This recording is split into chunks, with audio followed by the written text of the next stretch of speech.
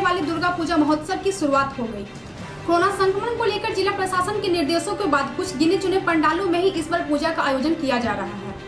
जिस तरह पहले बृहद पैमाने पर रांची में सौ से अधिक पूजा पंडालों का निर्माण होता था, इस बार सरकार द्वारा चार फीट की प्रतिमा सभी पंडालों में सैनिटाइजर और सामाजिक दूरी बनाए रखने तथा एक बार में सिर्फ़ सात लोगों के ही प्रतिमा के दर्शन कराने के निर्देश दिए जाने से पूजा कमेटियों में भारी रोष है।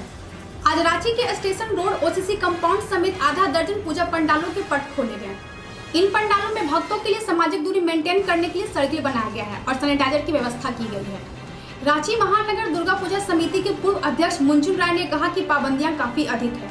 हमें भोग वितरण करने और म्यूज़िक सिस्टम बजाने की अनुमति दी जानी चाहिए। पंडालों में सात आदमी अनिवार्य किया गया है और भोग आदि वितरण पर जो प्रतिबंध लगाया गया है तो देखिए यह परंपरा है कि माँ भवानी का हम लोग भोग लगाते हैं उसको प्रसाद के रूप में ग्रहण करते हैं।